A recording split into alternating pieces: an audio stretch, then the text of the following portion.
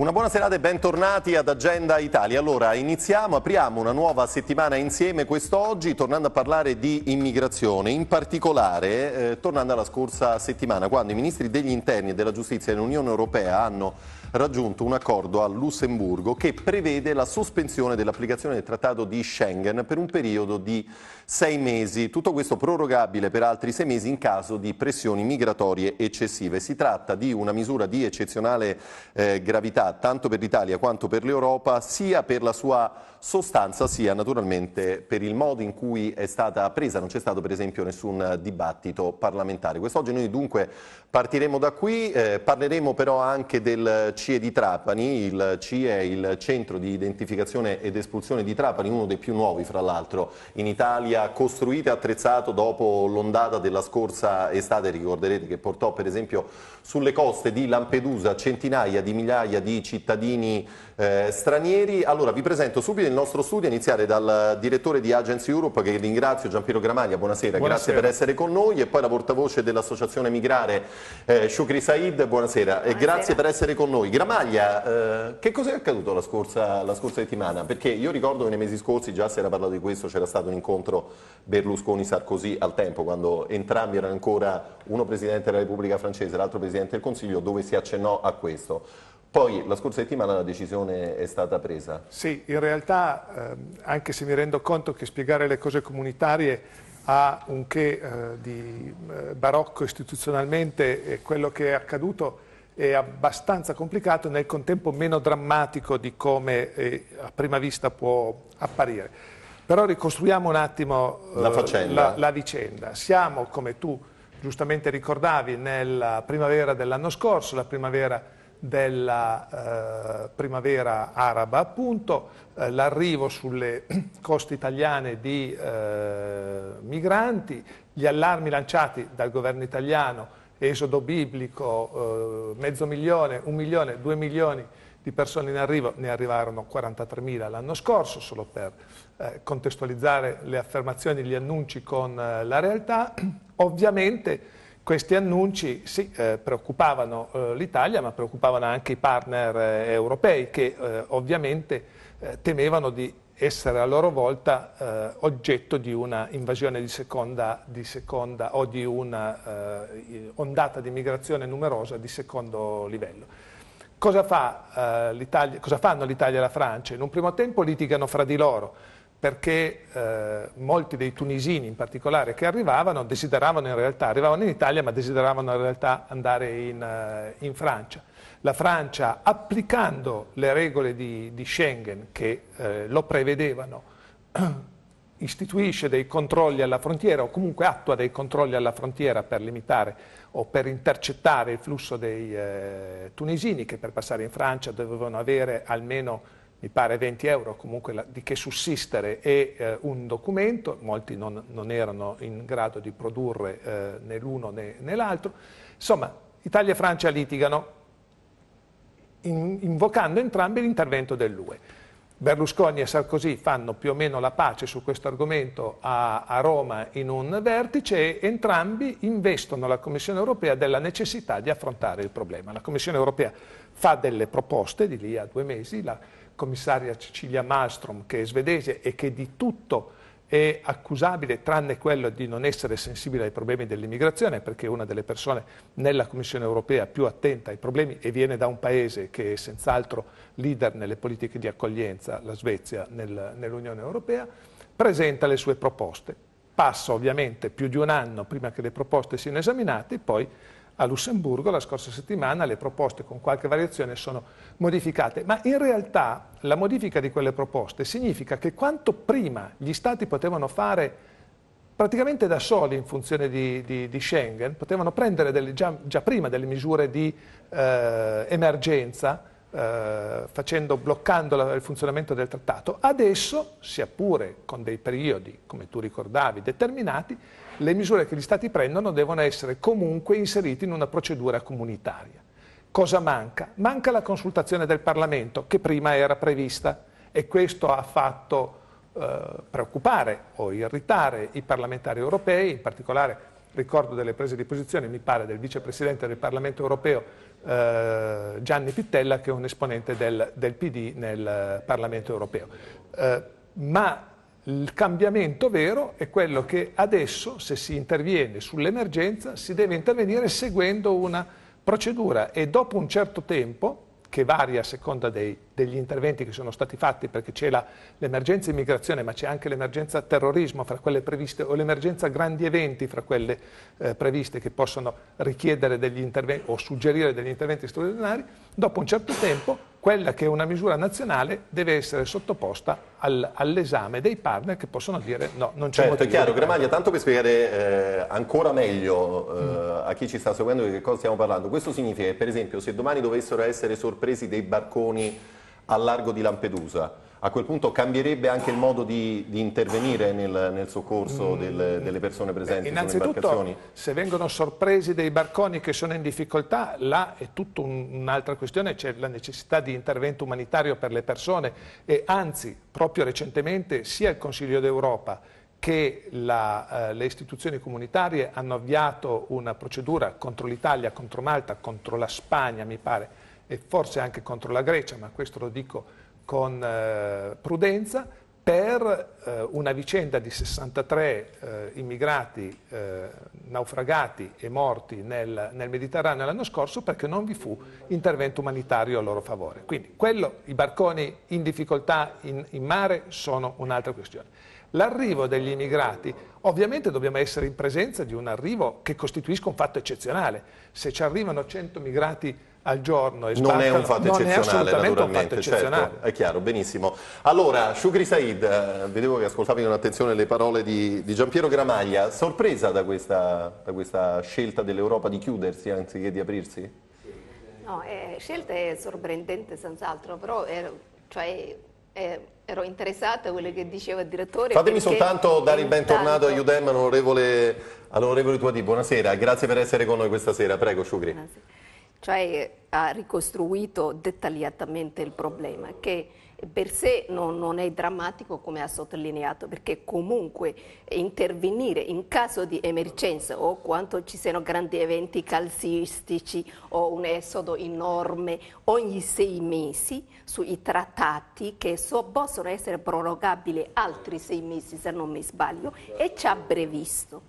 Il problema fondamentale, secondo il mio modo di vedere, è un altro, perché politica che anche il nostro Ministro dell'Interno ha aderito, questo è quello di scoraggiare eh, per eh, eh, arrivo degli immigrati dire ok non arrivate però il problema è che se scoppia un'altra guerra a primavera araba o qualche altro paese o i stessi quelli che hanno avuto questo primavera nulla vieta che tentano la sorte di venire da noi. Quello che noi dobbiamo pensare è che cosa Italia le farà fare in un anno o sei mesi o massimo un anno il periodo che il tunisino che ha trattato un marocchino la sorte viene in Italia, la dobbiamo tenere in CE, gli diamo motivi umanitari perché Italia possono venire. Italia però ha accettato questa idea che eh, per alleanza con gli altri per non far venire più immigrati dire ok però se vengono da noi come sono già venuti che cosa noi gli facciamo fare questo è il punto fondamentale da rispondere non sono i trattati che già avevano eh, previsione che si potevano chiudere frontiere o controllare da discutere ma discutere una volta che sono venuti che cosa gli offriamo? Gli offriamo i CE che abbiamo appena visto questi giorni o ci ci sono altre alternative che l'Europa propone? Questo eh, dobbiamo dare una risposta. Una bella domanda, onorevole Tuadì, allora in che direzione va questa Europa in fatto di immigrazione? Ma io dico questo. No? Un'Europa che si sta fra l'altro ridisegnando, sì. penso alle elezioni in Francia, fra l'altro ieri si è votato per le politiche e sembra che la, l'affermazione di Hollande no, sia, sia, ormai certa, nonostante poi c'è sempre quel 14% della signora Le Pen che preoccupa e non poco. Prego. Penso questo, mm, non c'è da, da, scandalizzarsi dal punto di, in punta di diritto, è nella sovranità degli Stati proteggere le frontiere ed è una delle prerogative de, eh, degli Stati, quindi di per sé non è un'aberrazione eh, giuridica.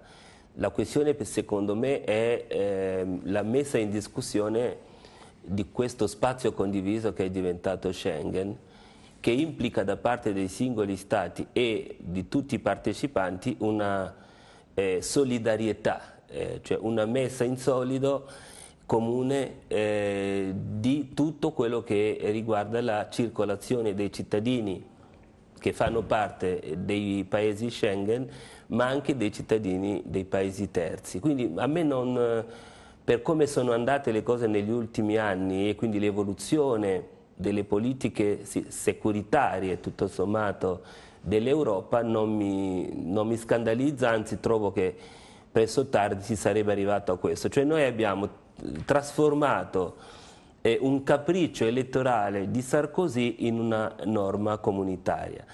Mi chiedo perché l'Italia abbia interesse a firmare questa cosa qua.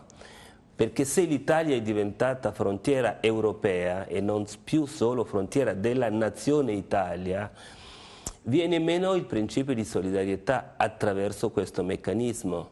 Eh, se l'Italia, che non, ha, non risulta che abbia fatto battaglia in ambito europeo per fare in modo che eh, queste limitazioni che già esistono per motivi di sicurezza, per motivi di particolari eventi, può, eh, esiste già, esisteva già nella normativa comunitaria la possibilità di sospendere Schengen, eh, proprio nel momento in cui c'è la straordinarietà dei flussi, che esigerebbe che tutta l'Europa prendesse eh, parte a questa emergenza, l'Italia attraverso questa, questo voto che ha accettato e si ritaglia un posto solitario nell'affrontare nell questo fenomeno qua. Secondo Senta, me, la, la, sorprende il fatto eh, che non ci sia stato un dibattito parlamentare su un argomento così importante? Questa è un'altra questione, secondo me, dove proprio perché c'è eh, questo governo tecnico che da un lato si dice tecnico e quindi non vuole affrontare eh, questioni che sono prettamente politiche, da, dall'altro però su alcune materie tipo eh, questa transazione e questi accordi che si stanno preparando con la Libia e, e, questa materia qua avrebbe necessitato secondo me di una discussione che non dispero di dover eh, fare in Commissione Affari Costituzionali, spero su iniziativa del Partito Democratico, perché noi facendo, aderendo a questa, a questa a questa richiesta dei paesi nordici, soprattutto della Francia, ma di altri paesi, noi ci ritroveremo appunto a non dover chiedere la solidarietà perché ci siamo legati le mani. Certo. Gramaglia, allora intanto volevi aggiungere qualcosa alle parole no, di Shukri Said? Eh, di, eventualmente rispondendo perché, Va bene, perfetto. No, io volevo chiederti politicamente che rischi vedi di fronte a questa scelta europea? Io eh, vorrei un attimo, perché penso che ci sia un minimo di confusione quando si parla di dibattito sì. eh, parlamentare. Allora, eh, per quanto riguarda il coinvolgimento del Parlamento europeo, perché qui stiamo parlando di una normativa eh, Schengen, eh, quindi di una normativa appunto a livello comunitario, eh, non c'è stato, è stato denunciato e anzi eh, la voce del Parlamento europeo in questa procedura è stata ridotta rispetto a quella che eh, era precedentemente. Per quanto riguarda i parlamenti nazionali, non tanto quello italiano, beh, come ho ricordato prima, questa procedura è andata avanti per un anno, è nata da un'iniziativa italiana e i nostri parlamentari, eh, non vivendo all'oscuro di quelle che sono le informazioni di stampa sul, sulla, sulla vicenda, potevano benissimo sentire l'esigenza di intervenire, sollecitare, chiedere, farsi promotori di un, di un, uh, di un uh, dibattito, cioè se mancava la, uh, come è mancata, la sensibilità del governo a portare il problema in, di fronte al Parlamento per chiedere magari un'indicazione, un eh, ci poteva forse essere un'iniziativa. Eh, poi vorrei ancora dire che dal punto di vista politico so che mi rendo conto, è particolarmente ehm, difficile da eh, apprezzare e forse non è neanche granché, ma con la decisione della scorsa settimana, quello che prima era un potere unicamente lasciato agli Stati, il singolo Stato decideva, è diventato un potere incanalato in una procedura comunitaria, Cioè si è passata da una governance di Schengen affidata alla sensibilità del momento dello Stato a una governance di Schengen comunque inserita in un processo comunitario, quindi con più garanzie, tutto sommato. E per quanto riguarda poi... Su questo Tuadì non è d'accordo, vabbè, poi no, lo sentiremo, prego Gramaglia. Questa è la mia, è sì, la sì, mia sì, certo, assolutamente. Per quanto riguarda poi il, eh, il fatto che l'Italia si sia isolata, cioè questa impossibilità di chiedere la, la mh, eh, solidarietà comunitaria nei, nel momento del bisogno, beh, anche qui l'Italia spesso, e l'anno scorso nei, nei giorni apparentemente caldi, anzi caldi del Nei flusso, mesi, perché poi mesi, insomma quella storia andò avanti fu, per parecchio. Ci fu comunque il grido ripetuto, l'Europa non ci aiuta, l'Europa ci, ci lascia soli. Ma vogliamo ricordare che l'Italia non è certo fra i primi paesi di accoglienza di, per eh, immigrati, che la percentuale di immigrati eh, rispetto alla popolazione italiana non è fra le più alte in Europa, ma non solo, che la percentuale dei ehm, richiedenti asilo che ottengono asilo in Italia, non la percentuale, scusate, il numero assoluto, in Italia è un decimo circa di quello della Germania, della Francia, della Gran Bretagna ed è inferiore a un quinto di quello della Svezia, che ha 7 milioni di abitanti e noi ne abbiamo 60 milioni di abitanti. Quindi ci sono paesi europei che, almeno nei confronti dei richiedenti asilo, fanno ben più di noi e in qualche modo si fanno già carico di quest'onere più di quanto non ce ne facciamo noi. Onorevole Tuadi, che cos'è che non la convince? Velocemente perché poi c'è anche un filmato che vi vorrei no, mostrare, no, che vorrei commentare con voi. Eh, il dottor Gramaglia sa bene che eh, l'agenda eh, del governo non è da noi conosciuto in anticipo in modo da chiedere preventivamente al governo prima di recarsi a una riunione del Consiglio eh, eh, l'ordine del giorno, eh, per esempio, quando si è trattato della questione Libia, quando il governo è andato a trattare eh, gli accordi, il rinnovo, la possibilità del rinnovo degli accordi, noi abbiamo saputo 48 ore prima che il ministro si stava recando a Tripoli. Diventa difficile in questo, in questo, in questo frangente. Io ora io ricordo il governo italiano che ha minacciato eh, l'uscita eh, da Schengen quando il governo francese ha bloccato i convogli di treni a 20 miglia. Quindi noi l'interesse dell'Italia non è di fare in modo che i paesi nordici chiudano le frontiere alla possibilità di una solidarietà di passaggio di queste persone una volta che hanno ottenuto la protezione umanitaria nel nostro paese o qualunque altro titolo di soggiorno. Noi abbiamo interesse che eh, non che sia gestita collegialmente le politiche dell'immigrazione, ma che su questo fatto concreto che rischia di isolarci e di ritro farci ritrovare in caso di flussi straordinari, noi insieme a Malta o al limite a qualche altro paese che si affaccia sul Mediterraneo, la possibilità di non poter mandare gli immigrati anche qualora avessero la protezione umanitaria in altri paesi. Io penso che su questo il governo si è data, per dirla così volgarmente, una zappa, zappa al piede.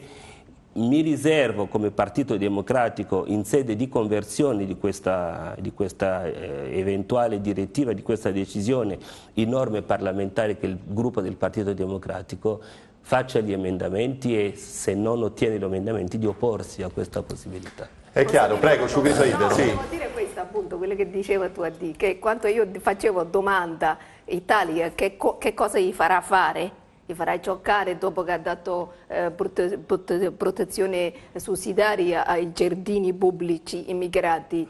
Che cosa gli farà fare di concreto? E questo è, è le cose, perché Italia se non chiede la solidarietà e poi gli arriva uh, una eh, ondate di immigrati che vengono dal Nord Africa. Che cosa gli facciamo fare se non possiamo nemmeno cadere? Questo è il punto interrogativo che eludeva questo risultato che sta dicendo. Un altro è quello che flusso che il direttore diceva prima. Io qua sono andata due volte in Svezia adesso, 60.000 solo della comunità somala sono 60.000 in Svezia.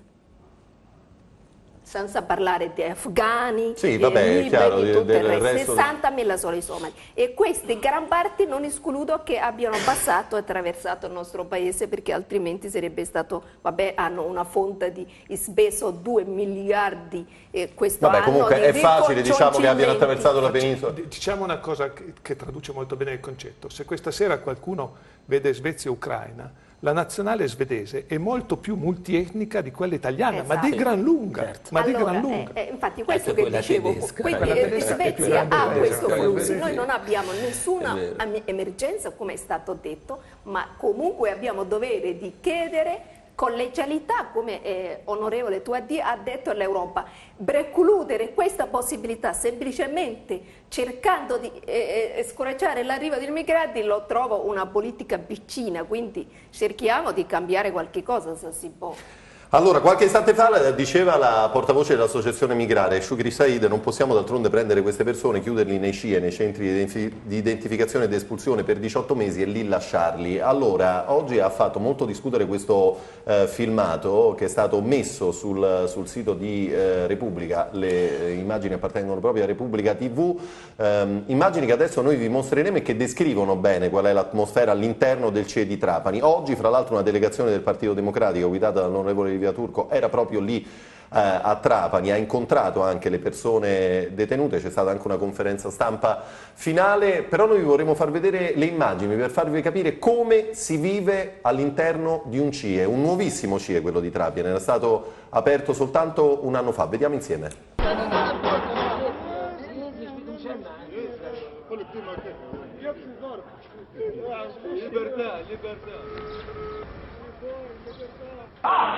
Questo che sta succedendo, Milo Trapani.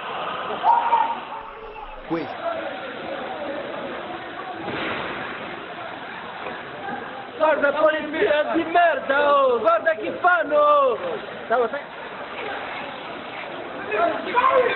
المطراب ضربوك على عينيك يمين يمين تغزر عيني كيفاش الزب Questa è una prigione amministrativa, un mostro giuridico che toglie la libertà fino a un anno e mezzo, non perché è stato commesso un reato, ma per un illecito amministrativo.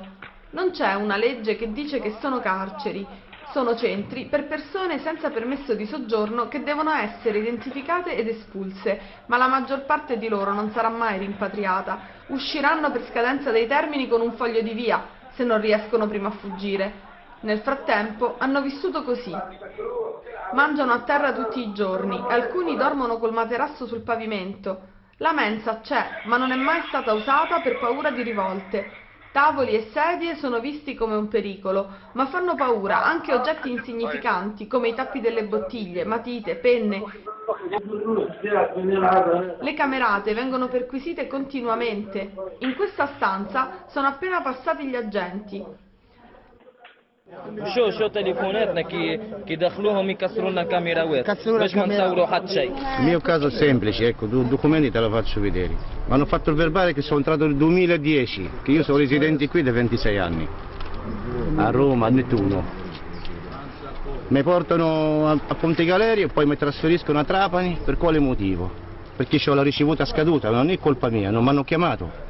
Io il lavoro ce l'ho, Ma la lei casa che ce l'ho. lavoro fa? Io sono un pittore edile, Pittore edile? E c'ha famiglia? certo. Dove abita? A Nettuno, a Roma. Mia moglie è polacca dell'Unione Europea. Tutto morto per il mio paese. Io non esisto più. Per Croazia, io sono andato 2009 all'ambasciata per fare i documenti e risulto morto perché 16 anni non lo sanno niente di me. Che ci faccio qui? Con 61 anni. Scusami, nemmeno sono d'Africa, sono d'Europa. Che sono scherzi? A me non può impartiare, sono desertore.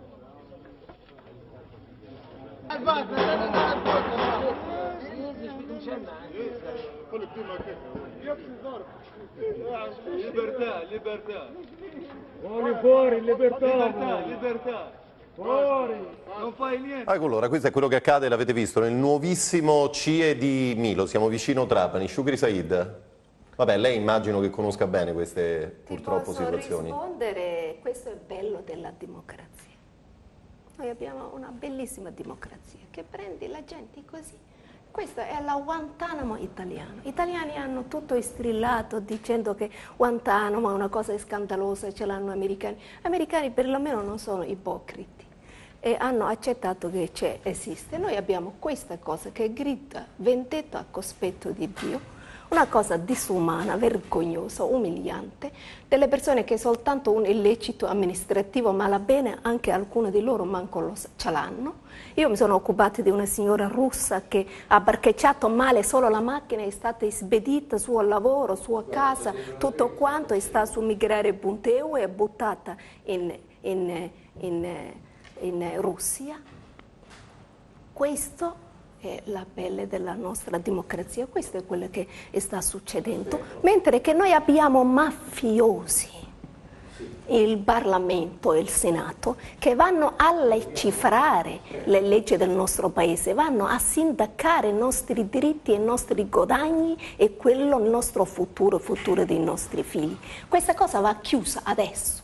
Gramagna. Io... Beh, questa è direi anche una Guantanamo dell'informazione italiana, perché onore ai colleghi di Repubblica che l'hanno mostrata, onore a Udem che la, che la riprende, ma senz'altro la nostra stampa ha parlato molto di più della Guantanamo americana di quanto ah, sì, non insomma, parli di questa sicuramente molto se ne è occupata nostri... e, e, sembra sì. tuttora molto poco interessata a questo argomento io sono immagini e, e, realtà che scopro eh, per la prima volta non ho per fortuna da un certo punto di vista la consuetudine della, della rappresentante degli, degli immigrati in Italia, ma eh, senz'altro ne sono scioccato. E, e o associarsi sono... insieme a noi direttori di dire di che diamo capo dello Stato di chiudere, visto che azionista di maggioranza di governo non, dei non, tecnici. Non c'è dubbio che è una realtà che eh, è, è, indegna di un paese democratico e, e indegna anche di un paese sviluppato. Onorevole Tuadì, con questi CIE, visto che oggi c'è stata una delegazione del Partito Democratico, c'erano diversi parlamentari impegnati in questa ispezione nel centro di Milo, che vogliamo fare? Insomma, lì l'abbiamo sentito, ci sono persone, no? intanto di ogni età, certo. eh, di, di, tanti paesi diversi, che si trovano a vivere una situazione di, di detenzione poi a tutti gli effetti, sì. no? senza aver commesso, sì. nella maggior parte dei casi, nessun tipo di reato, e restano lì per 18 lunghi mesi, un anno e mezzo, insomma, di vita preso e tolto. Io li ho visitati tutti, tutti i centri, da Trapani a Ponte Galeria a Roma, a Gradisca di Sonzo, a quello di Modena, a quello di Bologna, via Corelli a Milano, quello di Torino. Ecco, ma può un paese che si chiama Italia e... accettare una cosa del genere, come diceva Shukri Said? Sì, purtroppo eh, c'è lì, è nata sotto una spinta securitaria che sappiamo bene a partire dal 2009 questo innalzamento del periodo eh, di detenzione, una detenzione che non dice il suo nome perché poi eh, se fosse un carcere, se fosse stato un carcere avrebbero avuto le garanzie e le tutele che la legge prevede per i carcerati. Quindi invece qui è una terra di mezzo, sì, diciamo così. Assistenza legale, visite de, de, dei parenti, eh, de, eh, alcuni canoni per quanto riguarda la residenza di queste persone.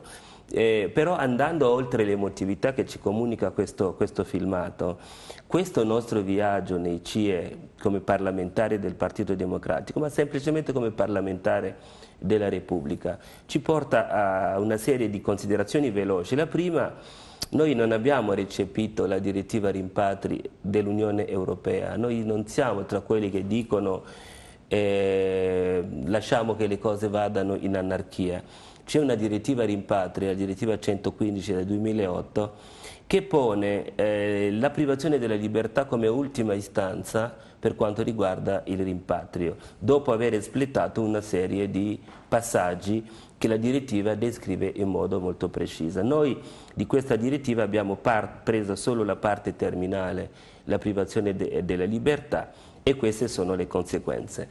Ci sono persone che stanno là dentro senza una convalide del giudice del loro stato di fermo, il che è una violazione flagrante delle garanzie previste dal nostro codice penale. C'è lo status che non è definito, non, è, non sono eh, detenuti, sono trattenuti, però in quanto trattenuti hanno meno tutele e garanzie dei detenuti. L'altra incongruenza è che ci sono persone che eh, hanno finito di espletare una pena, di, di scontare una pena e prima di essere rimpatriati passano altri 180 giorni di detenzione per essere identificati, quando il Ministero della eh, Giustizia potrebbe mettersi d'accordo con il Ministero degli Interni perché l'identificazione sia fatta negli ultimi mesi prima della fine dell'espiazione della pena.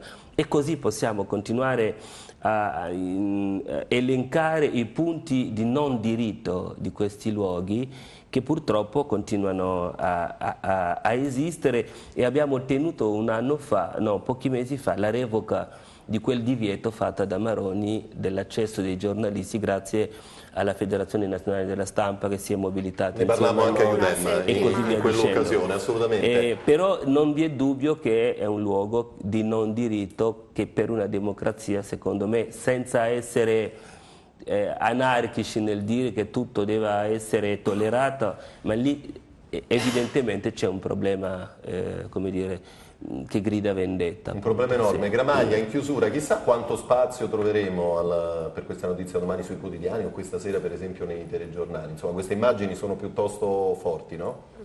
Beh, però essendo tu ed io giornalisti, chissà quanto spazio gli daremo, cioè non attribuiamo ad altri. Oggi Udem gliel'ha dato, eh, speriamo che, che e Repubblica evidentemente glielo dà, magari anche soltanto per imitazione o per quello che noi diciamo non prendere un buco, speriamo che anche altri media se ne occupino. Non credo che ce ne sarà molto, no. anche perché c'è appunto Ibrahimovic che gioca, magari segna pure e ci porta via un po' di spazio. Sì, allora però retorico a parte, siamo qui con quattro persone, ci associamo, ti facciamo un appello per chiuderli. Possiamo farle insieme? Chiudiamo così? No? Beh, l'appello l'abbiamo no, no, fatto e diciamo lo una richiesta al, al, al Presidente del Consiglio Monti di chiudere queste vergogne. Perché la democrazia non basta avere soltanto cessati, messi bene, stirati per dire che sono democratico. Democrazia è anche, anche nei questo. comportamenti e questo certamente non è democratico. Questo è il nostro appello, quest'oggi eh, 11 mm, giugno 2012, per il momento ci fermiamo qua, io ringrazio l'onorevole Tuadi, eh, così come il direttore Gramaglia, Shukri Said per essere stati quest'oggi con noi, a tutti voi l'augurio di una buona serata, a presto, grazie.